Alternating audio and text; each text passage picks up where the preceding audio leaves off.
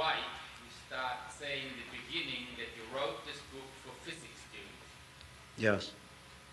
But you must remember that engineering students uh, at Rensselaer were in a professional curriculum because engineering is the only profession you can enter with just a bachelor's degree. For physics or chemistry or medicine or law, you go on to post undergraduate work. So their undergraduate program was highly professional, so that teaching physics to these people was, to these engineers, was the same as teaching it to physicists. But that's not true for large-scale universities, right? This is particular for Rensselaer. Well, a, a lot of the, the biology or pre-med students did not want calculus. This was a calculus-based text, so that was excluded. And probably one mistake we did make was not to put enough examples from medicine and biology in, which I hope we're beginning to overcome now. Um, The next but, well, but you must remember, I'm 76, that's years of age, Yeah. and ha- Halliday's 82, and uh, when I retired six years ago, the publisher said, uh, this property is too valuable, that's the way they talk, you got to find a, th- a young third author to carry on and work with them. Uh, well, Ken Krane, uh, marvelous physicist, uh, we got to join on on physics, uh, worked together with him on the, I guess it's the fourth edition, and the fifth edition is now about ready to come out. It'll take about a year. And we got Jearl Walker for the fundamentals of physics. And we've been through two editions with him, and now neither Dave nor I uh, do much with them at all.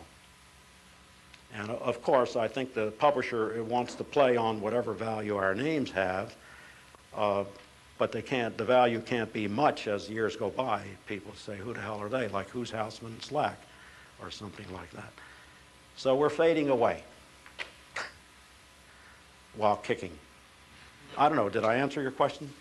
Well, some, I mean, I, I still think that uh, you will great disservice by choosing books which are written for physics students and using them for pre-meds, we use them Oh, you, one thing you must understand, I don't, I don't adopt, if you're using my book at Texas, I had nothing to do with that. I did not adopt it. Some professor here decided that of the 30 books, that's the one he wanted for his class. So that's his mistake. I'm serious. Not mine. Uh, if they want to join on a bandwagon effect to the detriment of the students, that's no good. And I object to that too. I mean, I couldn't understand my book being used at the freshman at the University of Mississippi in 1960. It just didn't make any sense to me. Uh, they probably flunked half the class, and they hate my guts. And it never should have been used there. Uh, so I think that's a fair answer. I, I I remember when I was talking out at Stanford, uh, and they felt that I owed them a, a visit and a talk because they'd been using my book all those years. And I reminded them that I didn't make the choice. I wasn't at Stanford. You guys chose it, not me. I don't owe you a thing. uh, think about that. I think that's a fair answer to your question. Yeah, but the problem is you're so successful that you get copied too much.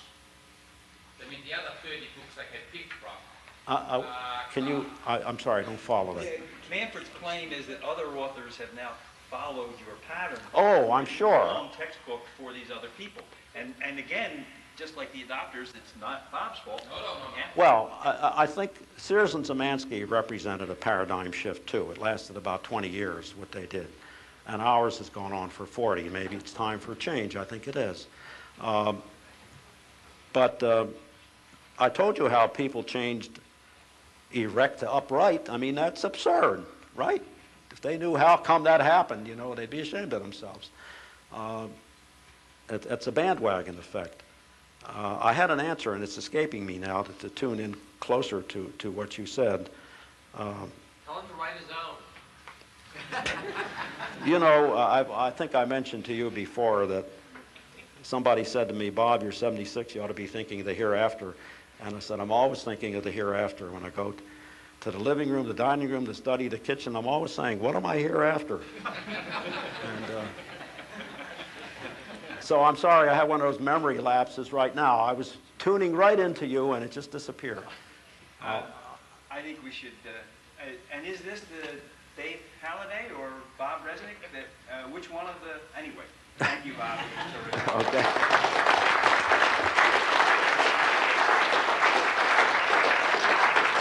Uh, Enjoy your cake.